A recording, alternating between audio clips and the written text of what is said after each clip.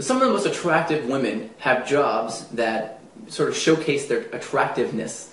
Uh, you know, bartenders, waitresses, strippers, uh, models. These kind of women are very desirable. But how do you, you know, meet a woman whenever you are a customer? Let's say that you're you're eating at a restaurant and the waitress is there. Well, one way you can do that, and, and it's kind of a complicated sounding way, but I'll make it simple for you. It's using what's called a pattern interrupt. A pattern interrupt is a, the idea that as we go through our lives learning how to do what we consider to be mundane tasks, um, also known as work-related tasks, we create what's called an autopilot response. An autopilot response is something that we use our subconscious mind to work for, like to do. For example, a lot of times whenever I drive, I'll drive to some place and then I'll get out of the car and I won't really remember most of the drive because I was in my head thinking about other things. Now, was I not paying attention? I was paying attention to the road, but my subconscious mind created a process that drove the car for me. And so uh, I created a pattern. So what you have to do is you have to break the pattern.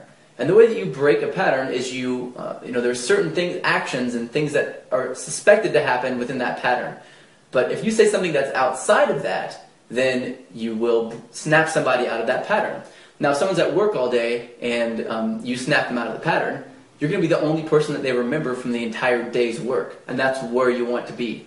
Now, one way you can do that, my, the classic, my favorite way of doing it, is to say the magic words. And the magic words are, how's work, how's work going today?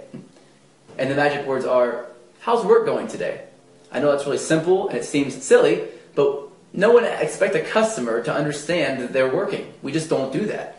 Uh, we look at someone like they are the customer. I'm here to work and serve them. And then whenever I'm done with work, everyone I meet after that is not a customer anymore. They are normal people. Well, we don't date our customers, and waitresses don't date their customers either, not very often.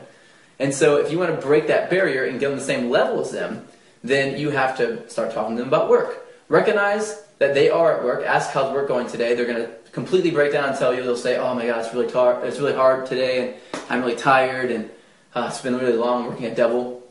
Let them kind of vent for a second, say whatever they need to, and then uh, ask them for their name.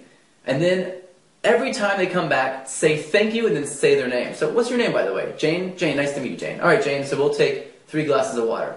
Thanks, Jane. She leaves, comes back. All right, appreciate it, Jane. Thank you very much. So, every time you say it, she comes back, you have her name. Her name's Jane.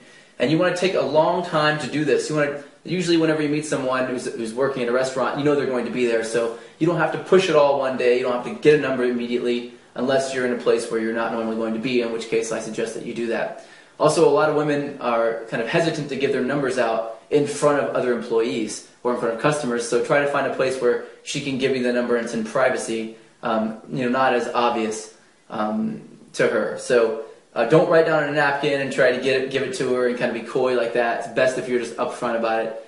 Um, don't write it on the receipt uh, like that as well. You want to be the person who's taking the initiative here, and you have to take all of the the responsibility out of her hands, and you have to take it on yourself. So uh, go ahead and try that out. Pattern interrupts are, are fantastic. I use them all the time in all sorts of walks of life.